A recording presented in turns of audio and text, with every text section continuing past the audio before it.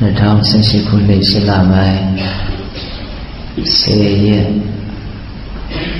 မင်္ဂလာရှိတဲ့နနကင်ခါကာလမှာရန်ကုန်တိုင်းဒေသကြီးလေကူမြို့ရွှေမတင်ကြီးရွာသစ္စာရွှေစီကျောင်းလိုက်တဲမှာဆင်ကျင်းပကြတယ်။ငါရတာတရားစကားပွဲမှာတရားဘာဝနာအလုပ်ကြိုးစားအထောက်ကြဖို့ရောက်ရှိလာကြတယ်။ တရားမပေါင်းတရားတော်တို့မိမိတို့ကြိုးစားအထောက်နေကြတဲ့တတိပဒံဘာဝနာတရားလုပ်ငန်းစဉ်နဲ့ပတ်သက်ပြီးတော့နားလည်စရာလေးတွေသိစရာလေးတွေလိုအပ်နေတဲ့ယောဂီတို့အတွက်ရည်ရွယ်ပြီးတော့ပြောပါမယ်အခုပြောမယ့်စကားတွေကယောဂီတိုင်းအတွက်တော့ လိုအပ်မယ်မဟုတ်ပါဘူးဒါပေမဲ့လိုအပ်နေတဲ့ပုံကိုယ်တွေအတွက်တော့အလုံးမတန်ဖိုးကြီးလိမ့်မယ်လို့ထင်ပါတယ်ဒါကြောင့်ဒီစိတ်ကလေးကိုထားတတ်ဖို့စိတ်ထားတတ်ဖို့ကအယမ်းမအရေးကြီးပါတယ်စိတ်မထားတတ်လို့ဒုက္ခရောက်နေကြတာ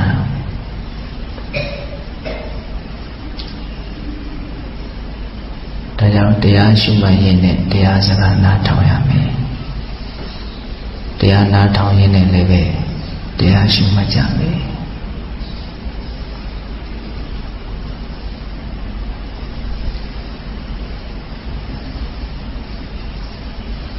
စိတ်ထားလေးတွေမထားတတ်လို့စိတ်တွေမတည့်လို့မစင်ရဲတဲ့မဲနဲ့ဆင်းရဲနေရတယ်မလေးလံတဲ့မဲနဲ့ဒီလံနေရတယ်အဲ့ဒီလိုမ ဖြစ်ရအောင်တွေးမိတာလေးတွေမြင်မိတာလေးတွေကိုပြောခြင်းပါတယ်တကယ်ဆိုရင်ဒီစကားလေးတွေကတရားစကားစတဲ့နေ့ကစပြောစရာကောင်းလွတ်လွတ်လပ်လပ်ပေါ်ပေါ်ပါပါရှိနေစေခြင်းနဲ့စိတ်ကလေးတွေကိုတရားစကားပွဲရောက်လာပြီဆိုတော့ ပတ်ဝန်းကျင်ကပြောင်းသွားတယ်မမြင်ဘူးတဲ့မတွေ့ဘူးတဲ့လူတွေကြားထဲမှာနေရတယ်ကိုကျင်လဲကျဆန်းနေကြမဟုတ်တဲ့နေရာမှာရောက်လာတယ်အဲဒီတော့တစုံတစ်ခုဘာမှမသိညာမှမသိတဲ့ထီအားတစ်ခုကတာမန်လူတွေကိုလွှမ်းမိုးနေတတ်တယ်အဲ့တော့ကိုယ်စိတ်ထဲမှာ ကိုယ်နေရာလေးကိုကိုယ်စိုးကိုယ်ပိုင်လေးတလိုမျိုးစိတ်ကလေးထားပါစီမဲ့ကမ်းမဲ့ဗျံပရာ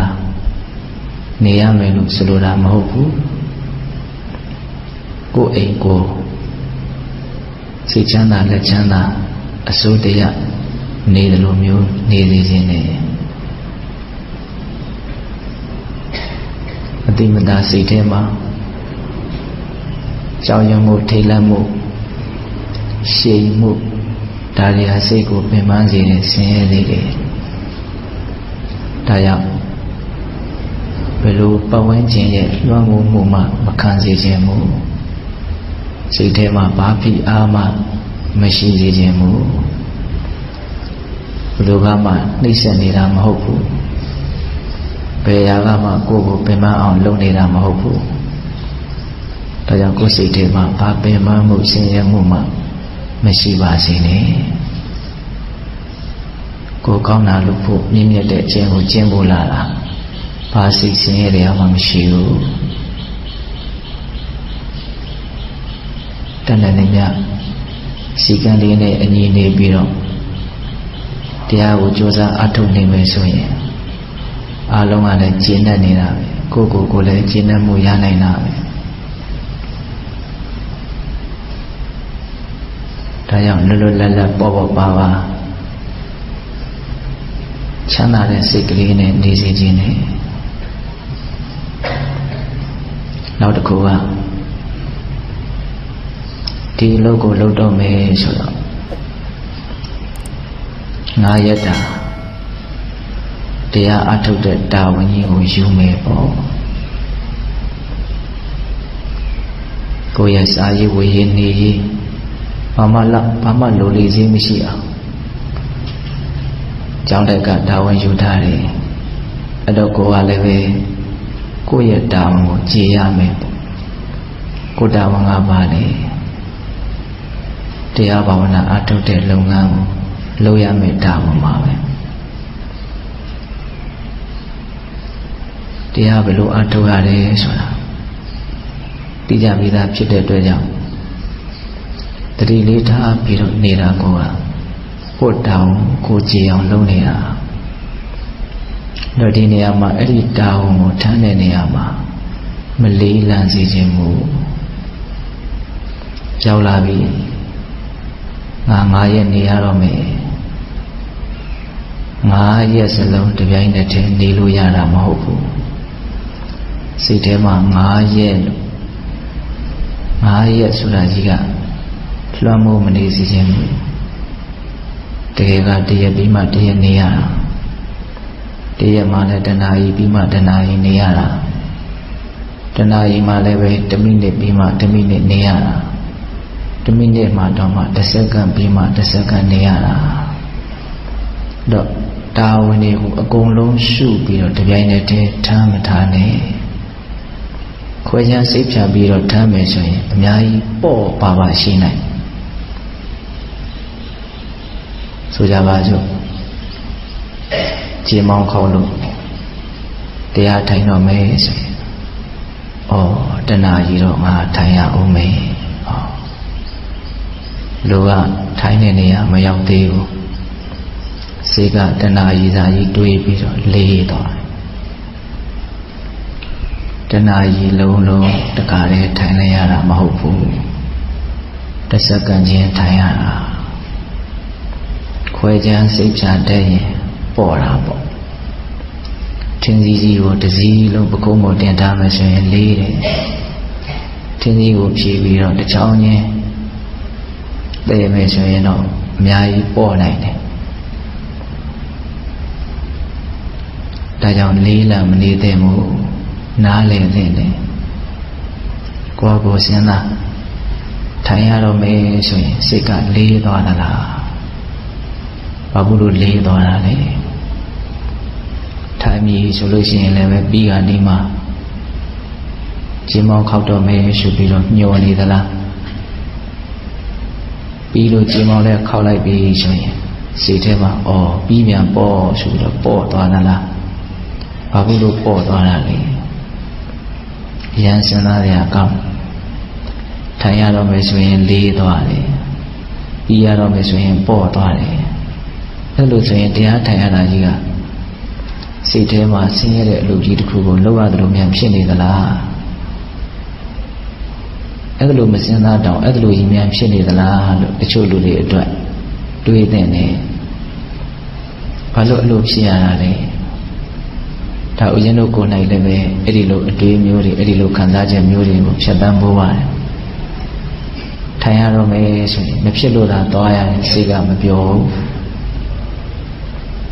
ပြီးတော့မယ်ဆိုလို့ရှိရင်ဒီထဲမှာနည်းနည်းပျော်သွားတယ်ဘာလို့အဲ့လိုဖြစ်ရတာတော့ထိုင်းနေရတဲ့အချိန်မှာဆင်းရဲမှဆိုးတာပါပဲဒကမကြီးတယောက်ကပြောတယ်မထိုင်နိုင်မှဆိုးလို့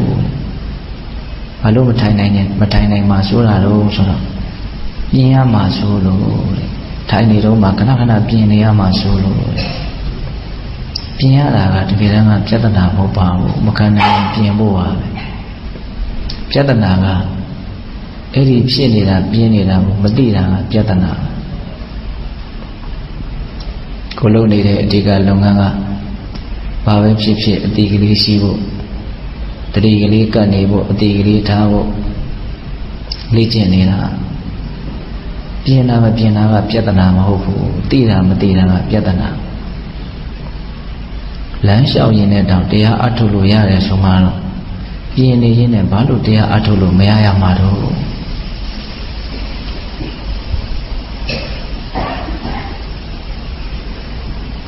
တရားအထုတ်တဲ့အချိန်မှာ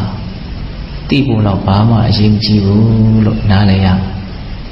ဒါကြောင့်ဘာပဲဖြစ်ဖြစ်ကောင်းကောင်းဆိုးဆိုးသိနေအောင်လုပ်ရမယ်အဲ့ဒါဘာလဲဘလို့ဖြစ်လာတာလဲ ပြီးရင်ဘလို့ဖြစ်သွားတာလဲတတိတရားနေခြင်းအပြင်အဲ့ဒီမေဝန်းတွေရဲ့အဖြစ်ကိုသိနိုင်တယ်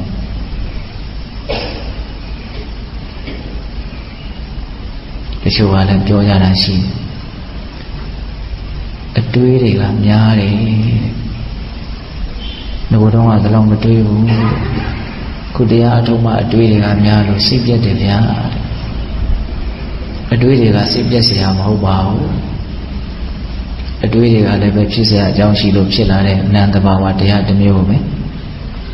အတွေးဆိုတာစိတ်ပြရမယ့်အရာမဟုတ်အတွေးဆိုတာသိရမယ့်အရာလို့ရှင်းရှင်းလင်းလင်းနားလည်ရမယ်အတွေးတွေများလို့စိတ်ပြက်တချို့ကြတော့အဲ့ဒီစိတ်ပြက်တာကြီးဝဲထပ်ပြီးတော့စိတ်ပြက်အတွေးတွေကိုလည်းစိတ်မပြက်နဲ့စိတ်ပြက်တာကြီးကိုလည်းထပ်ပြီးတော့စိတ်မပြက်ပါနဲ့ ဘာကြောင့်မှစိတ်မပြက်နဲ့စိတ်ပြက်တာကအကုသိုလ်ပဲတရားအထုတ်တယ်ဆိုတာအကုသိုလ်မဖြစ်အောင်နေတာဖြစ်နေတာတွေအကုန်လုံးကရှိစရာအကြောင်းရှိလို့ဖြစ်နေတာအဲ့ဒါတွေကိုကိုယ်တာဝန်ကသိအောင်လုပ်ဖို့ပဲတချို့ကြတော့လည်းပဲဒုက္ခဝေဒနာတွေကိုကြောက်ကြတယ် ဒါဟာစိတ်ရဲ့တဘာဝပါပဲစိတ်ကဒုက္ခဆိုရင်ကြိုက်တယ်ဒုက္ခဆိုရင်ကြောက်တယ်ဒါတရားအထောက်အမှကြောက်တယ်ဆိုတာအကျဉ်းများဖြင့်ကာယခက်မှနေရခက်မှကိုကြောက်တာပါပဲအဲ့တော့အဲ့ဒီဒုက္ခဝေဒနာတွေဆိုတာကအမြဲတမ်းဖြစ်နေတာလားမဟုတ်ပါဘူးနားရဲဆိုရင်လည်းအမြဲတမ်းနားနေတာမဟုတ်ပါဘူးဒုက္ခဝေဒနာလည်းကြောက်ရမယ့်အရာမဟုတ်ဘူး နားလည်အောင်လုပ်ရမယ့်အရာသူ့အကြောင်းကိုကောင်းကောင်းသိအောင်လုပ်ရမယ့်အရာဒုက္ခဝေဒနာတွေနဲ့တွေ့ရင်အစင်မပြေတာတွေဖြစ်လာရင်စိတ်ကဘလို့တုံ့ပြန်နေလဲတုံ့ပြန်နေတဲ့တဲ့စိတ်ရဲ့ဝါဒနာကိုလည်းသိအောင်လုပ်တဲ့ဆင်းရဲတာကိုကြီးသိရမှာမဟုတ်ဆင်းရဲလာရင်စိတ်ကဘလို့လုံးနေတော့ဘလို့ဒီတုံ့ပြန်နေတော့ စိတ်ဝင်စားတဲ့အကောင်းတယ်စိတ်လောက်စိတ်ဝင်စားတဲ့အကောင်းတာမရှိဘူးလို့ထင်တယ်ဆိုကြပါစို့ရားလာပြီဆိုရင် automatic စိတ်ကကုတ်ချင်ဒါပါလေရှားတာကြီးကကုတ်လိုက်ရင်ပျောက်တယ်ဆိုတဲ့အတီးကြီးရှိရှားတာကြီးကိုမကြိုက်ဘူးမကြိုက်တာကဒေါသပဲ ကုတ်လိုက်ရင်ကုတ်လိုက်ရတဲ့အရာသာကိုကြိုက်တယ်ရှားတာလေးကိုဖြောက်လိုက်ရတယ်ကုတ်လိုက်ရတယ်အဲ့ဒါလေးကိုကြိုက်တယ်အဲ့ဒါလေးကိုရားခြင်းတယ်အဲ့ဒါကလောဘပဲရတဲ့အချိန်မှာလောဘနဲ့ဒေါသကလွန်ဆွဲနေတယ်ရလာပြီမကြိုက်ဘူးဒေါသတွေဖြစ်တယ် ကိုကိုလိုက်ရင်သူများမြင်မှလည်းရှိုးတယ်ကိုကိုကိုလည်းပဲတတ်မှတ်ထားတာကိုငါရလည်းမကိုဘူးနာလည်းမရွှေဘူးစိတ်ကအောင့်နေလှုပ်ချင်တာကအလွန်မဲ့မလုပ်ရဘူးမလုပ်ရဘူးဆိုစိတ်ကဆင်းရဲဒေါသတွေဖြစ်တယ်နောက်တော့လောဘကပဲနိုင်သွားတာများပါတယ်ကုတ်လိုက်တော့ပဲအရာပြည့်တဲ့အရာလာကိုမရရင်မနေနိုင်ဘူး ကုတ်လိုက်တော့မယ်ဆိုတော့ကုတ်လိုက်တယ်ကုတ်ပြီးတော့စိတ်ကလည်းပဲစိတ်တိုင်းမကြဘူးငါဒီတစ်တိုင်းမှာကုတ်လိုက်မိပြီဒါပါလေရားတာကိုတော့ပဲစိတ်ဝင်စားနေတာရားတာကိုတုံ့ပြန်နေတဲ့စိတ်ကိုကြတော့သတိမထားမိတော့စိတ်တွေကဖြစ်ချင်တယ်လို့ဖြစ်နေတာအဲ့ဒါတွေကသိရမယ့်အရာတွေပဲ တရားအထုတ်တယ်ဆိုတာဘာမှဆန်းဆန်းကြဲကြဲကြီးမဟုတ်ကိုယ်မှဖြစ်နေတဲ့သဘာဝတရားရုပ်သဘာဝတရားမျိုးစုံနာမ်သဘာဝတရားမျိုးစုံဒါတွေကိုအမှန်တိုင်းသိအောင်လေ့လာတာစူးစမ်းတာအမှန်တိုင်းသိအောင်ကြိုးစားတာအစကနဦးမှာတော့မတူကွဲပြားခြားနာတဲ့ ယုံနာတို့ရဲ့တဘာဝလေးတွေကိုသိနိုင်တယ်မြင်နိုင်တယ်ပေါ့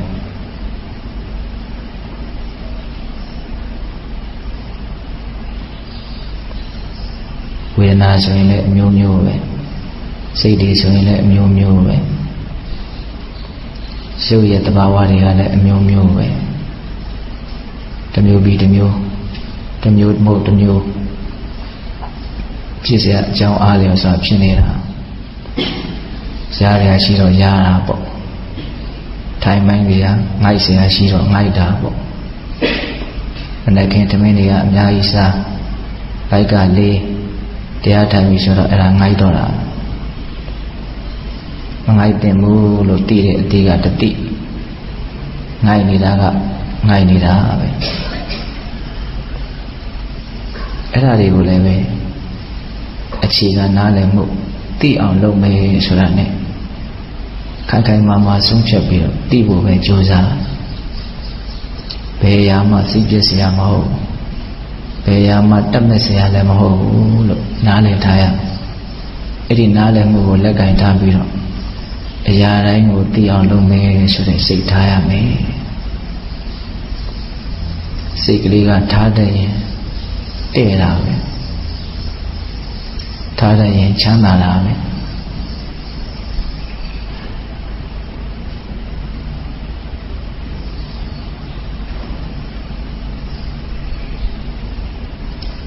ဒါကြောင့်တကယ်အရေးကြီးတာကဘာပဲဖြစ်ဖြစ်ဖြစ်နေတဲ့အတိုင်းလေးတည်နေဖို့ပါတည်ပြီးရင်ထားခဲ့ပါအဖြစ်သေးတာကိုကြိုးပြီးတော့လည်းမသိပါနဲ့ တည်ပြီးသားကိုလည်းပြန်တွေးနေပါနဲ့ညာတော်အဖြစ်တော့စိတ်ကဖြစ်ပြီးသားမှညှိပြီးတော့ကြံရစ်တာလည်းများတယ်လို့ထင်ပါတယ်တကယ်ဖြစ်စဉ်ကအလွန်မြန်မြန်ဆန်ဆန်သွားနေတာတတိဝရိယကအားနေတော့မလိုက်နိုင်ဘူးတခုကိုတီးလိုက်တယ်နောက်တစ်ခုကဖြစ်နေပြီ အဲ့ဒါကိုမတီးနိုင်ဘူးစောစောကတီးကြတာနဲ့ပတ်သက်ပြီးတော့ပြန်ပုံဖော်နေတယ်ပြန်တွေးနေတယ်တကယ်အလုပ်လုပ်ပြီးဆိုရင်စိတ်ကနောက်ကျကြံရတာပဲများတယ်ဒါကြောင့်သိပြီးရင်ထားခဲ့လိုက်ထားခဲ့လိုက်ဆိုတာလည်းပဲဒီတိုင်းထားခဲ့လို့မရဘူးစိတ်ကအလေးအကျဉ်းကြီးပြန်ပြန်တွေးနေတာတန်းနိုင်တယ်များဖြစ်ဖြစ်နေတာကို အမိလိုက်ပြီးတော့အတိစိတ်အောင်ကြိုးစားရမယ်အရန်တယ်လေးဖြစ်ဖြစ်နေတာတိသွားတိသွားတစ်မျိုးပြီးတစ်မျိုးဖြစ်နေတာတိအောင်လာလို့သူပါလဲဆိုတာပို့ပြီးတော့နားလည်လာနိုင်မယ် ဘယ်တိတရားကိုပဲတိတိတန်ဖိုးအတူတူပဲဘယ်ရှုမှတ်စရာကိုပဲရှုမှတ်ရှုမှတ်တန်ဖိုးအတူတူပဲဘာလေးကိုတိမှတကယ်အလုပ်ဘယ်ဟာကိုသိရင်တော့တကယ်အလုံးမဟုတ်ဘူးလို့ခွဲခြားမထားပါနဲ့အကုန်လုံးဟာဖြစ်နေတာတွေဟာရုပ်တည်နေနေကြီးပါပဲအတန်ကြားရလို့များစိတ်မပြတ်လိုက်ပါနဲ့အ တန်ဆိုတာလည်းပဲသိရမယ့်အရာတစ်ခုပါလောကကြီးကတဘာဝတရားပေါင်းများစွာနဲ့ဖွဲ့စည်းထားတာခုလုပ်နေတဲ့အလုပ်ကအလွန်ကြီးကျယ်ပါတယ်တဘာဝတရားများစွာနဲ့ဖွဲ့စည်းထားတဲ့လောကကြီးရဲ့အကြောင်းကိုသိအောင်ကြိုးစားနေတာအထူးသဖြင့်မိမိခန္ဓာတည်းဟူသောလောကကြီးရဲ့အကြောင်းကိုသိအောင်လုပ်နေတာ ဒါကြောင့်အတန်လေးကြားရင်ဘလို့ကြားသလဲမနက်ကဦးဇင်းလေးတစ်ပါးပြောတယ်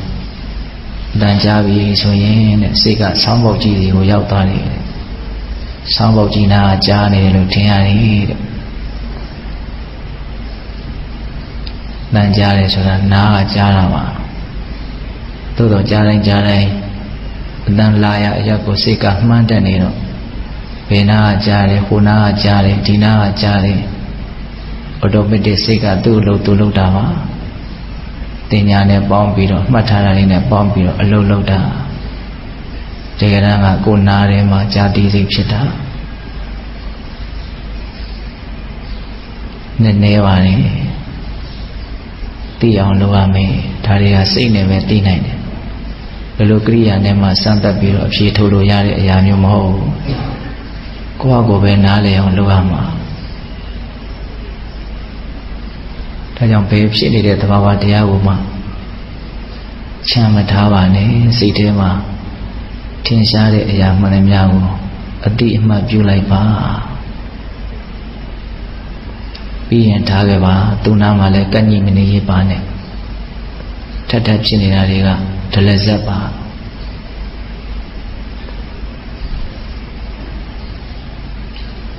ဘာပဲဖြစ်ဖြစ်သိဖို့ရအရေးကြီးဆုံးလို့မှန်ကန်တဲ့ခံယူချက်ရှိပြီးတော့လုပ်ပါဒါကြောင့်မင်းဝန်ဆိုတော်ဘုရားကြီးတထုံမင်းဝန်ဆိုတော်ဘုရားကြီးပြောရတဲ့တန်ဖိုးဖြတ်လို့မရတဲ့အဆုံးအမတစ်ခုရှိတယ်တရားအထုံနေကြပုဂ္ဂိုလ်တွေကတော့ကြားဖို့ပြီးသားဒါပေမဲ့ဒီအဆုံးအမက အထုကရယောဂီပဲဖြစ်ဖြစ်အထုံနေကြယောဂီပဲဖြစ်ဖြစ်တည်တဲ့နဲ့တည်ပြီးသားဆိုရင်လည်းမမေ့တယ်မို့ဘာလဲတော့ဖြစ်အောင်လည်းမလုံးနဲ့ပြက်အောင်လည်းမလုံးနဲ့ဖြစ်တာပြက်တာသိပါစေတဲ့ဘာမှဖြစ်အောင်မလုံးနဲ့တဲ့တဘာဝတရားတွေကသူ့အတူအကြောင်းကျိုးဆက်ဆက်ပြီးတော့ဖြစ်နေတာ ဖြစ်စီရအကြောင်းရှိရင်ဖြစ်မှာပဲဒါမရစီမရဖြစ်နေတာတွေကကိုယ်အစွမ်းတတ္တိကြောင့်ဖြစ်နေတာမဟုတ်အကြောင်းတရားတွေကြောင့်ဖြစ်နေတာဘာလို့မှတကယ်တမ်းကကိုယ်ဖန်တီးလို့ရတာမဟုတ်ဘူးသူကသူ့အကြောင်းကျိုးဆက်ဆက်ပြီးတော့ဖြစ်နေတာပြက်အောင်လည်းမလုံးနဲ့တဲ့ဖြစ်စရာရှိရင်ဖြစ်မှာပဲကြိုက်ကြိုက်မကြိုက်ကြိုက်တတ္တဝါရဲ့သဘောကိုငဲ့ကွက်တဲ့သဘောမရှိဘူး ဖြစ်เสียအကြောင်းရှိရင်ဖြစ်တာအခုဘုံဘုံပြောနေတယ်အတန်လေးကြားနေတယ်ကြားတဲ့အကြောင်းရှိရင်ကြားမှတော့မကြားခြင်းဘူးဆိုလို့မရဘူးနားလည်းကောင်းနေတာဟုတ်အတန်လည်းဖြစ်နေတာဟုတ်ဒီချိန်မှာဒီလိုအခြေအနေမျိုးမှာကြားစိတ်မဖြစ်အောင်ဘယ်သူမှမအဲ့ဒီအစွမ်းတတ္တိမရှိပါဘူး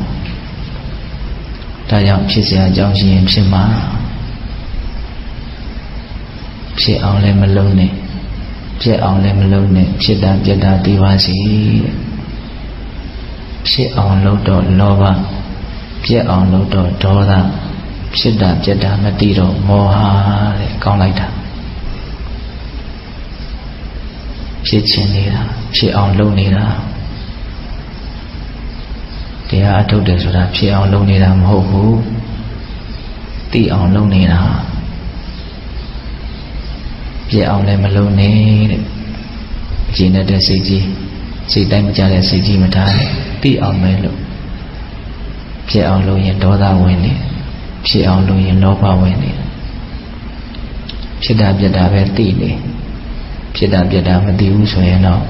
မောဟဝင်ပြီတဲ့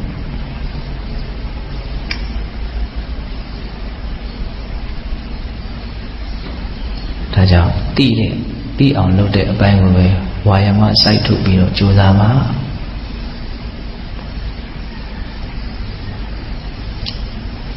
တရားအထုတ်တဲ့နေရာမှာအလုံးမအသုံးဝင်တဲ့ပြီးပြီးစုံအောင်ကောင်းတဲ့ဒေသနာတစ်ပုဒ်ရှိရဲ့အဲ့ဒါကတော့ဗတ္တိကရတ္တတုတ်တမေ အတိတနာနောဂမိယနပတိကိခေအနာဂတံယရတိတံပဟိနတံအပတ္တင်္စအနာဂတံအတိတ်ကိုပြန်မတွေးနဲ့တဲ့အတိတ်ဆိုတာမရှိတော့ဘူးတဲ့ပြီးခဲ့ပြီပျောက်ခဲ့ပြီကုန်ခဲ့ပြီအနာဂတ်ကိုမျှော်မှန်းပြီးတော့လည်းပဲလေးလာမနေနဲ့တဲ့အနာဂတ်ဆိုတာမရောက်သေးဘူးတကယ်ဖြစ်မလာသေးဘူးတဲ့အဲ့ဒါလောက်လေးလိုက်နာနိုင်ကို တော်တော်ကြီးချမ်းသာမှာဘယ်အချိန်မှပဲဖြစ်ဖြစ်စိတ်တွေဆင်းရဲပြီးပင်ပန်းပြီးဆိုရင်ဒီအတိတ်နဲ့အနာဂတ်ကိုသွားနေလို့စိတ်ကပင်ပန်းရတာဆင်းရဲရတာအတိတ်ဆိုတာမရှိတော့ဘူးအနာဂတ်ဆိုတာမရောက်သေးဘူးလို့တကယ်များရှင်းရှင်းလင်းလင်းသိမယ်ဆိုရင်အများကြီးတတ်တာရမယ်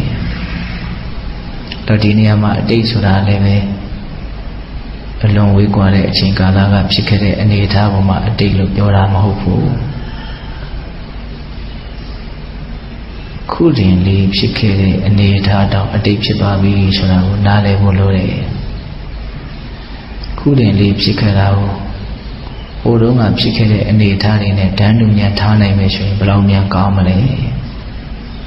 ဟိုတုန်းကဖြစ်ခဲ့တာတွေကမရှိတော့တယ်လို့ခုတင်လေးဖြစ်ခဲ့တာလည်းတကယ်ကမရှိတော့ဘူး အတိတ်ကိုအလိုနားလဲရအတိတ်ကိုအတိတ်မှာထားခဲ့ဖို့လိုတယ်မရှိတော့တာကိုမရှိတော့ဘူးလို့အမှန်သိဖို့လိုတယ်အတိတ်ကိုအတိတ်မှာမထားခဲ့နိုင်လို့အကုသိုလ်တွေဖြစ်ကြတာတူတူကိုကိုအဲ့လိုပဲရောက်မလာသေးတဲ့အနာဂတ်ကိုလည်းဆန္ဒတွေစောပြီးတော့ကြိုးကြိုးကြိုးကြိုးပြီးတော့နေနေနေနေကြလို့ စိတ်တွေလေးလိုက်ရတာပင်မရတာအနာဂတ်ဆိုတာတကယ်ဖြစ်သေးတာမဟုတ်ဘူးတကယ်ရောက်မလာသေးဘူးမြတ်စွာဘုရားကချမ်းချမ်းသာသာမြင့်မြင့်မြတ်မြတ်နေခြင်းလေဆိုရင်အတိတ်ကိုမတွေးရဘူးအနာဂတ်ကိုမကြံစည်ရဘူးလိမ့်ဆိုတာပြီးခဲ့ပြီမရှိတော့ဘူးအနာဂတ်ဆိုတာရောက်မလာသေးဘူးတဲ့အလွန်ရိုးရှင်းပါ အဲ့လိုဆိုရင်အတိတ်ကိုမသွားဘူးအနာဂတ်ကိုမသွားဘူး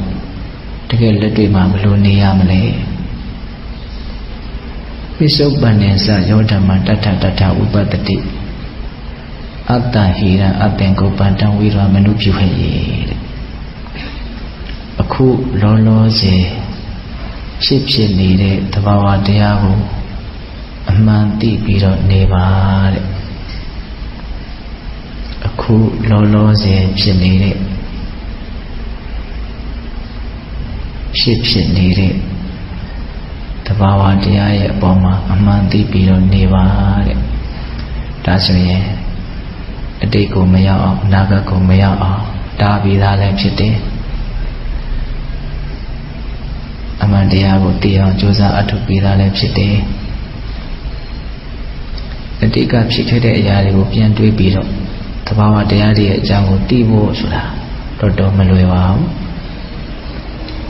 မဖြစ်သေးတဲ့အနာဂတ်ကိုကြိုးပြီးတော့တွေးရင်းနဲ့သဘာဝတရားတွေရဲ့အကြောင်းကိုအမှန်သိဖို့ဆိုတာလည်းမလွယ်ပါဘူးအခုလောလောဆယ်ဖြစ်နေတာလေးကိုအမှန်သိပြီးတော့သဘာဝတရားတွေရဲ့အကြောင်းကိုသိဖို့ကြိုးစားတာကအမှန်တရားကိုသိဖို့အတွက်တခုတည်းသောနိလန်းပဲဘာလို့လို့ဒီစုပ်ပါမှာဖြစ်နေတာကိုအမှန်သိရင် အတိတ်ကိုလည်းနားလည်နိုင်တယ်အနာဂတ်ကိုလည်းနားလည်နိုင်တယ်။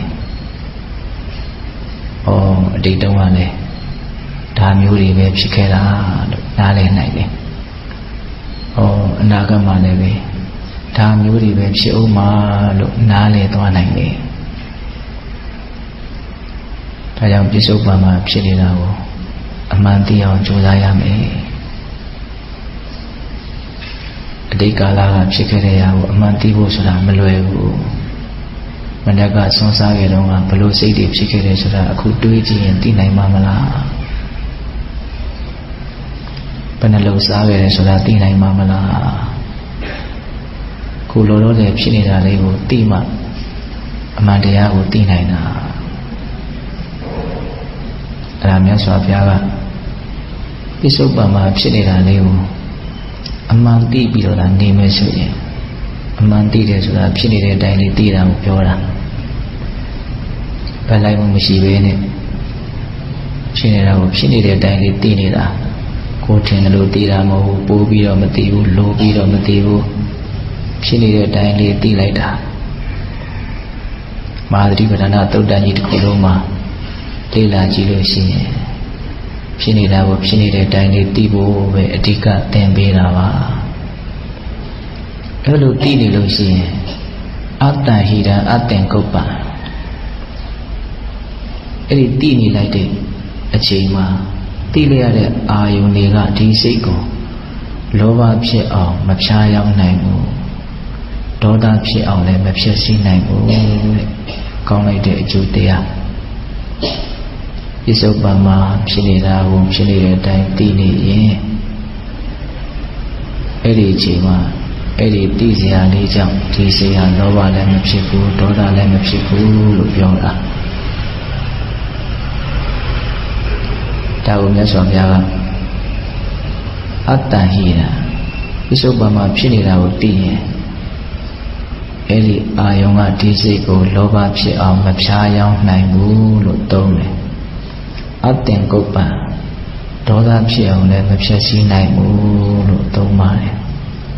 အလုံးမကောင်းတဲ့စကားလုံးပါပဲလောဘဖြစ်သွားတာကိုဖြားယောင်းခံရတယ်လို့နားလည်ရမှာပေါ့ဒေါသဖြစ်သွားတာကိုအဖြစ်စည်းခံရတယ်လို့နားလည်ရမှာပေါ့တခုခုမြင်လဲရလို့တစုံတရားကြားလဲရလို့ တစုံတစ်ခုသောအတွေ့အကြုံကြောင့်စိတ်ထဲမှာအဲ့ဒါကိုကြိုက်သွားတယ်မက်သွားတယ်ตายရသွားတယ်သဘောကျသွားတယ်ဆိုရင်အဲ့ဒီအာယုံကကိုယ်စိတ်ကိုလောဘဖြစ်အောင်သွေးဆောင်ဖြားယောင်းသွားပြီကိုယ်ကအလေးညာခံရရပြီအလှည့်စားခံရရပြီလောဘဖြစ်သွားပြီဆိုရင်အာယုံရဲ့လှည့်စားတာကိုခံရတယ်လို့ပြောတယ် ဘယ်လောက်သဘောကျစရာကောင်းတဲ့စကားလုံးလဲဟုတ်တယ်အာယုန်လေးထဲမှာတကယ်တကယ်ကဖြစ်ပေါ်လာတဲ့သဘောပျောက်ပြတ်သွားတဲ့သဘောဒါပဲလေဒါပေမဲ့ကိုယ်စိတ်ထဲမှာလောဘဖြစ်သွားတယ်အဲဒီအာယုန်ရဲ့ပုံမှာအာယုန်ကကိုယ်ကိုသွေးဆောင်ဖြားယောင်းသွားတာကိုဒါကြောင့် ဥဒ္ဒံပါဠိတော်မှာဂါထာလေးတစ်ခုရှိတယ်အတ္တတံတာတရူပေနပိယရူပေနအပိယဒုက္ခဒုက္ခတရူပေနပမတ္တမတိဝတ္တတိတဲ့ပြစ္ဆုတ်ပံမှာဖြစ်နေတာကိုမသိဘဲနဲ့မိမိရောရောပေါ်ပေါ်ဆာဆာနေမယ်ဆိုလို့ရှိရင်တဲ့ตาယာပဲမဟုတ်တဲ့လောကကြီးကตาယာဝေယာလိုလိုဟန်ဆောင်ပြီးတော့ အဲ့ဒီမေ့နေတဲ့တရားကိုနှိမ့်ဆက်လိမ့်မယ်လွှမ်းမှုဖြစ်စီလိမ့်မယ်တဲ့ဆိုလိုတာကလောကကြီးမှာตายရတရားမရှိဘူးဆိုတဲ့အတိပဲသို့တော့ကိုကဖြစ်နေတာကိုမသိဘူးအမှတ်တမဲ့နေလိုက်မယ်ဆိုရင်တော့ตายရပဲမဟုတ်တဲ့လောကကြီးကပဲตายရစရာလိုလိုနဲ့ကိုယ်စိတ်ကိုနှိမ့်ဆက်သွားလိမ့်မယ်ဖြည့်ဆည်းသွားလိမ့်မယ်တမတ္တမတိဝတ္တတိတတိမထားတဲ့မေ့နေတဲ့ ပေါ့ပေါ့ရော်ရော်နေတဲ့ပုဂ္ဂိုလ်လောကကလိညာလှည့်စားသွားတယ်ตายာဝယ်မဟုတ်တဲ့လောကကตายာဝယ်ရလူလူနဲ့လိမ်ညာသွားတယ်နှိမ့်ဆက်သွားတယ်အဲ့ဒါလိုပဲပိယရူပိနအပိယရှိเสียခင်เสียမဟုတ်တဲ့လောကကြီးကရှိเสียခင်เสียလူလူနဲ့မေ့နေတဲ့ခပ်ပေါ်ပေါ်နေတဲ့လူကို လွှမ်းမိုးဖြည့်စည်းသွားတယ်တဲ့ဒုက္ခဒုက္ခတရူပိနဆင်းရဲတဲ့တဘာဝတရားတွေကပဲကောင်းတယ်လို့လို့ချမ်းသာတယ်လို့လို့ကိုယ့်ကိုလွှမ်းမိုးသွားတယ်ဖြည့်ဆည်းသွားတယ်လှည့်စားသွားတယ်မကောင်းတဲ့တဘာဝကြီးကိုကောင်းတယ်လို့ထင်အောင်မေ့နေတဲ့တဘာဝကိုလောကကလှည့်စားသွားတယ်အာယုန်ရဲ့လှည့်စားမှုကိုမခံနိုင်ဘူးဆိုရင် ပြစ္ဆုတ်ပါမှာဖြစ်နေတာကိုအမှန်သိနေဖို့လိုတယ်ဆိုတဲ့အဓိကတော့ချက်စကလုံးကိုနားလည်ဖို့လိုတယ်ဒါကိုပြောတာအတ္တရှိတာသိလျရတဲ့အာယုံကစိတ်ကိုလောဘဖြစ်အောင်မဖြားယောင်းနိုင်ဘူးတဲ့ဒါရင်လားမကဘူးအတ္တင်ကုပ္ပံဒေါသဖြစ်အောင်လည်းမဖြစ်စည်းနိုင်ဘူးတဲ့ ဒေါသဖြစ်သွားပြီဆိုရင်အာယုံရဲ့ဖြစ်စည်းတာကိုခံလိုက်ရတယ်ဆိုတဲ့အတိပဲတခုခုမြင်လိုက်လို့တခုခုကြားလိုက်လို့တခုခုတွေ့ရကြုံရလို့ကိုကိုစဉ်းစားမိလို့တွေးမိလို့ကြံမိလို့စိတ်ထဲမှာ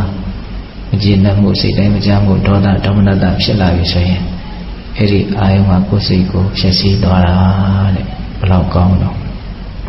ဒေါသဖြစ်တာဟာစိတ်ပြည့်စည်သွားတာတဲ့ အဲ့ဒါပြစ္ဆုတ်ပါမှာဖြစ်နေတာကိုဒါအမှန်သိမယ်ဆိုရင်အဲ့ဒီအာယုံကဒီစိတ်ကိုဒေါသဖြစ်အောင်မဖြည့်ဆည်းနိုင်ပါဘူးတဲ့ဒါကြောင့်ပြစ္ဆုတ်ပံမှာဖြစ်နေတဲ့သဘောဝလေးကိုအမှန်သိနေတဲ့အလောကအလောမအကျိုးကျေးဇူးကြီးမားတယ်ဆိုတာနားလည်ရမှာဆင်းရဲစေတဲ့အတိတ်အနာဂတ်ကိုမသွားအောင်တာပြီးသားလည်းဖြစ်တယ်လောဘဒေါသမဖြစ်အောင်ကြိုးစားပြီးသားလည်းဖြစ်တယ် ဒါကြောင့်အဲ့ဒီနေတဲ့နီးလောက်မြင့်မြတ်တဲ့အကျိုးရှိတဲ့နေနေဆိုတာလောကမှာမရှိဘူးတဲ့ဒါကိုပညာရှိတွေကနားလည်တဲ့အတွက်ကြောင့်တံဝိတော်မနုပြုဟဲ့ကြီးအဲ့ဒီနေတဲ့နေကိုပွားများကြတယ်ကြိုးစားကြတယ်အထောက်ကြတယ်တဲ့ပဋိကာရထသုတ်တမဂါထာလေး၄ပုဒ်ရှိပါတယ်ခုဂါထာ၂ပုဒ်ပြောခဲ့တယ်ဒီတဏ္ဍနာဂမေယနပတိကင်ခေအနာဂတံ ဇရာတိတံဘိနန္တအပ္ပတ္တသအနာဂတံအတိတ်ဆိုတာပြီးခဲ့ပြီမရှိတော့ဘူးဒါကြောင့်အတိတ်နဲ့ပတ်သက်ပြီးတော့အစင်မလိုက်နဲ့အနာဂတ်ဆိုတာမရောက်သေးဘူးမရှိသေးဘူးဒါကြောင့်အနာဂတ်နဲ့ပတ်သက်ပြီးတော့လည်းအစင်မလိုက်နဲ့တဲ့ပိဿုပန်နေစယောဓမ္မတထတထဝိပတ္တိအတ္တဟိရအတ္တင်ကုပ္ပံတံဝိရမနုပြုဟေပိဿုပန်မှာဖြစ်နေတာကိုအမှန်တိုင်းသိပါ ဒါဆိုရင်ဒီစိတ်ဟာလောဘဖြစ်အောင်လည်းဖြာရောက်မခံရဘူးဒေါသဖြစ်အောင်လည်းအဖြစ်စီးမခံရဘူးဉာဏ်ရှိတဲ့ပုဂ္ဂိုလ်တွေဟာဒီနေနည်းနဲ့ပွားများကြိုးစားအထုပ်ပြီးတော့နေကြတယ်အဲဒါမြတ်စွာဘုရားကဒီနေနည်းနဲ့နေဖို့အတွက်အကြီးမားဆုံးတွန်းအားတစ်ခုအနေနဲ့တတိယဂါထာကိုဆက်ပြီးတော့ဟောတော်မူတယ် ဣဇေဝကိစ္စမာတဗံကောစင်ညာမရဏံတုဝေနာဟိနောသင်္ကရဒေနမဟာတေနေနာမေဇုနာအခုပဲဒီနေ့ပဲအဲ့ဒီမြင့်မြတ်တဲ့အလုပ်ကိုလုပ်ပြအောင်လုပ်လိုက်ပါဣဇေဝကိစ္စမာတဗံအဲ့ဒီမြင့်မြတ်တဲ့အလုပ်ကိုဒီကနေ့ပဲလုပ်လိုက်ပါဘာလို့လို့ကောစင်ညာမရဏံတုဝေမနေ့ပြန်မှာ နေရမယ်မနေရဘူးဒီလူကိုလှုပ်ခွင့်ရှိအောင်မယ်လှုပ်ခွင့်မရှိတော့ဘူးဆိုတာကိုဘယ်သူမှအသေးချာမသိနိုင်ဘူးတဲ့။လက်ပြန်သေးလိမ့်မယ်လို့ပြောတာမဟုတ်ပါဘူး။သိခြင်းလည်းသိနိုင်တယ်နေခြင်းလည်းနေရနိုင်တယ်။သိရမယ်နေရမယ်ကိုအတိအကျမသိတာကတော့အမှန်ပဲ။ဘာလို့မသိနိုင်ဘူးလို့ပြောရတော့အကြောင်းပြချက်ခံနေလုံးလုံးပါတယ်အဲ့ဒီကာထာထဲမှာ။ နာဟိနောသင်္ကရံတေနမဟာတေနေနမေစုတာညာစွာသောစိတ်တည်ရှိတဲ့တေမင်းနဲ့တတ္တဝါတွေမှာဘယ်ချိန်မှတွေ့ရမယ်ဆိုတာချိန်ချက်ထားတဲ့တိုင်မြင်ထားတဲ့ဆိုတာမရှိလို့ပါတဲ့ဒီနေရာမှာညာစွာသောစိတ်တည်ရှိသောတေမင်းဆိုတာဘာကိုပြောတာတော့ဒီခန္ဓာကိုယ်ကြီးကိုပြောတာ ဘယ်သူမှမတတ်လည်းပဲတစ်ချိန်မှသူ့သူတတ်သူ့အလိုလိုတည်သွားမှာဒါကြောင့်ခန္ဓာကိုယ်ကြီးဟာတတ်တတ်တဲ့သဘောရှိတယ်တတ်အပ်တဲ့သဘောရှိတယ်ခန္ဓာကိုယ်ဟာတည်မင်းမင်းတဲ့များစွာသောစိတ်တည်ရှိလို့ဆိုတာကတည်တတ်တဲ့အကြောင်းတရားတွေအလွန်များတယ်လို့ပြောတာ စိတ်တည်အများကြီးရှိမှတော့ဒီတေမင်းကိုဘယ်တော်ကမှအနိုင်မတိုင်နိုင်ဘူးဆိုတာကိုထင်ရှားစေလို့လို့များစွာသောစိတ်တည်ရှိတော်လို့ပြောတာများစွာသောစိတ်တည်ဆိုတာကတည်စရာအကြောင်းတရားတွေအလွန်များတဲ့အနေအထားကိုရည်ညွှန်းတာကိုရထားတဲ့ခန္ဓာကိုယ်ကြီးကအကြောင်းမျိုးမျိုးကြောင့်ပျက်စီးနိုင်တယ်အခိုင်အမာတည်ဆောက်ထားတာမဟုတ်ခုချိန်ကိုယ့်ရဲ့အတွင်းခန္ဓာထဲမှာဘ လို့ယောဂတွေတိဆောက်နေတယ်ဆိုတာကိုမသိနိုင်ဘူးဟိုဒီနေ့ကနမေကြီးဆရာတော်တစ်ပါးဆေးစီရင်နဲ့ဦးထဲမှာကင်ဆာဖြစ်တယ်ဆိုတာကိုသိရတယ်စင်ကာပူမှာတောက်လျှောက်ခွဲစေရတယ်ဦးကြီးကိုတပေလောက်ဖြတ်ရတယ်ဒီဖြတ်ထားတဲ့ဦးကြီးကိုဓာတ်ပုံရိုက်ပြီးတော့ပို့လို့သူနဲ့ရင်းနှီးတဲ့တခါတွေကလာပြလို့ဘုံဘုံကြည့်ရတယ် တပြုတ်ခိုင်းလို့ရဲနေတဲ့အတွေ့အကြီးတွေကအဲ့ဒီဥမာကတ်နေဘာကြီးမှတော့မသိဘူးအဲ့ဒါအဲ့ဒီဆရာတော်ဆိုရင်စားသာတောက်တောက်သွားသွားလာလာဆေးပုံမှန်စစ်နေတာဖြစ်တာပါပဲသူကသူယောဂရှိတယ်လို့မသိပါဘူးမဲ့တကယ်စစ်လိုက်တော့အတွင်းထဲမှာအကြီးအကျယ်ဖောက်ပြန်နေတာကိုတွေ့ရတယ်ကို့မှလည်းအဲ့လိုဖောက်ပြန်မနေဘူးလို့ဘယ်ပြောနိုင်မလို့ အများစုအခုတရားထိုင်နေတဲ့လူတွေဟာ60ဝန်းကျင်နေကြီးပဲလူဘဝမှာဒီပေါင်း60နေလာခဲ့ပြီဆိုတော့ဒီခန္ဓာကိုယ်ကြီးထဲမှာတည်ကြပေါ့ချိုးရင်ချက်တွေကတော့ရှိနေမှာပဲဒီအမှန်တရားကိုမျက်ကွယ်ပြုပြီးတော့မလုပ်ရင်ဖြစ်တဲ့အလုပ်တွေကိုပဲအားဆိုင်ပြီးတော့နေရင်အတွက်တွေမှားပြီးတော့အလွဲကြီးလွဲရလိမ့်မယ် လွဲတယ်ဆိုတာကိုလည်းသိရတော့ပြင်ဖို့အချိန်ကလည်းမရှိတော့ဘူးရှုံကြီးရှုံးလိမ့်မယ်ပြင်ဆင်ခြင်းမရှိတဲ့အချိန်မှာရတဲ့နောင်တကဘာတန်ဖိုးမှရှိမှာမဟုတ်ဦးဇင်းတို့တွေကကိုယ်အတွေ့လေးကိုဟုတ်ထင်တာကိုအလုံးကိုတည်တော်မူတဲ့မြတ်စွာဘုရားရဲ့စကားပေါ်မှာမယုံမဲဘူး ကိုယ့်အကိုတည်လာပြီဟုတ်လာပြီကိုယ်အတွက်ကိုမှန်လာပြီဒီလိုထင်နေတာကိုဘုရားပြောတာကြားရုံပဲကြားတာတချို့ကလည်းယုံမှမယုံမဲဘူး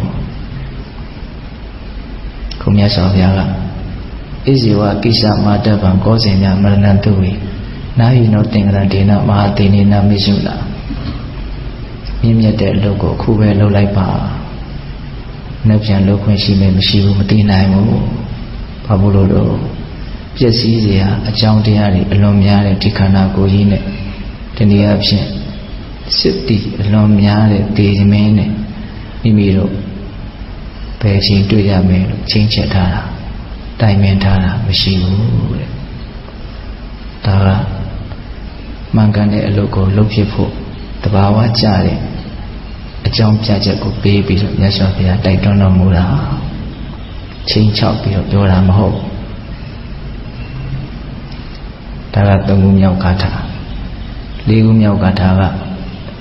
ဧဝံဝိဟာရိအာတပိအဟောရတမတ္တန္တိတောတံဝေဗတ္တိကရတောတိတန်တောအာစိကတိမုနိပိစုပါမှာဖြစ်နေတာလေးကိုအမှန်ကန်သိပြီးတော့အတိတ်ကိုလည်းမပြန်အနာဂတ်ကိုလည်းမကြံမင်းနဲ့လောဘဒေါသမဖြစ်အောင် မြင့်မြတ်သောနေခြင်းဖြင့်နေတဲ့ဒီနေနည်းကိုနေရောညရောမပြင်းမရည်ထက်တန်တဲ့ဇွဲလုံးလာဝိရိယနဲ့ပွားများအထောက်နေတဲ့ပုဂ္ဂိုလ်ကိုငြိမ်းအေးတော်မူပြီးဖြစ်ကြတဲ့ဘုရားအစရှိတဲ့သူတော်ကောင်းကြီးတွေကအလွန်ကောင်းသောညရှိတဲ့ပုဂ္ဂိုလ်လို့ချီးမွမ်းကြတယ်တဲ့ဧဝံဝိဟာရိအာတပိအဟောရတမတ္တန္တိတော ဒီမြင့်မြတ်တဲ့နေနည်းနဲ့နေရောညရောမပြင်းမရည်ဇွဲလုံးလာဥရိယထထတန်တန်နဲ့အာထုတ်ပြီးတော့နေတဲ့ပုဂ္ဂိုလ်ကိုတန်တော်အာစိကတိမုနိငြင်းအေးတော်မူပြီးဖြစ်ကြတဲ့ဘုရားရှင်ကိုလိုမြတ်ကြီးတွေကချီးမွမ်းကြတယ်ပြောဆိုကြတယ်ဘလို့ချီးမွမ်းပြောဆိုလို့တံဝေဗတ္တိကာရတောတိဒီလိုကတော့ကောင်းသောညရှိတဲ့ပုဂ္ဂိုလ်ပဲ ကောင်းဆုံးနေနည်းလေးနဲ့နေထားတာဆိုတော့ညအိပ်ဆက်မယ်ညရောက်ပြီဆိုရင်အလွန်မင်္ဂလာရှိတဲ့ကျက်တည်ရှိတဲ့ကောင်းသောညလေးကိုငြိမ်ငြိမ်ချမ်းချမ်းအနှစ်သာရရှိရှိဖြတ်သန်းနိုင်တယ်ပေါ့ကောင်းသောနေနည်းဖြင့်နေမထားဘူးအာယုံကိုအမှန်တိုင်းမသိဘူးအာယုံကျိုးဆွဲတဲ့တိုင်းကားရတယ်အာယုံလှည့်စားတိုင်းခံရတယ်အာယုံဖြစ်စီတိုင်းခံရတယ်အာယုံလှည့်စားတိုင်းခံရတယ်ဆိုတာလောဘဖြစ်တာကိုပြောတာ အာယုံဖြစ်စီတိုင်းခံရတယ်ဆိုတာဒေါသဖြစ်တာကိုပြောတာအဲ့ဒါလိုသာနေမယ်ဆိုရင်တော့ကောင်းသောနေခြင်းဖြင့်နေမထားတဲ့အတွက်ကြောင့်ကောင်းသောညမဖြစ်နိုင်ဘူးဒါကတရားအထုတ်ကြတဲ့ပုဂ္ဂိုလ်တို့အတွက်အလွန်မှအဝန်ခွင့်ကြရှိလာတဲ့တန်ဖိုးဖြတ်လို့မရတဲ့မြတ်စွာဘုရားရဲ့ဒေသနာပဲဒါကြောင့်ဘာပဲဖြစ်ဖြစ်အ မှန်အတိုင်းတည်နေအောင်ငါကြိုးစားမယ်တည်နေဖို့တော့ဘာမှအရေးမကြီးဘူးဆိုတဲ့ခံယူချက်နဲ့ကောင်းကောင်းဆိုးဆိုးစိတ်တိုင်းကြကြမကြကြရုပ်ပဲဖြစ်ဖြစ်နာမ်ပဲဖြစ်ဖြစ်ဖြစ်နေတာလေးကိုဖြစ်နေတဲ့အတိုင်းလေးအမိအယဖန်ပြီးတော့တိတိနေအောင်ကြိုးစားပါ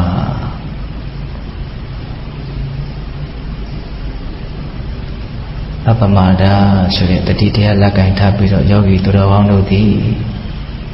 မြတ်စွာဘုရားရဲ့အဆုံးအမပြစ္ဆုတ်ပံမှာအမှန်တိုင်းသိပြီးတော့နေအောင်နေတဲ့နည်းကိုကြိုးစားအထောက်ပြီးတော့မဉ္ဇဉ်ဘုံဉ္ဇဉ်မြင့်နိဗ္ဗာန်ကိုလင်းမြန်ထုတ်ချမျက်မှောက်ပြုနိုင်ကြတဲ့သူတော်ကောင်းတွေဖြစ်ကြပါစေတည်း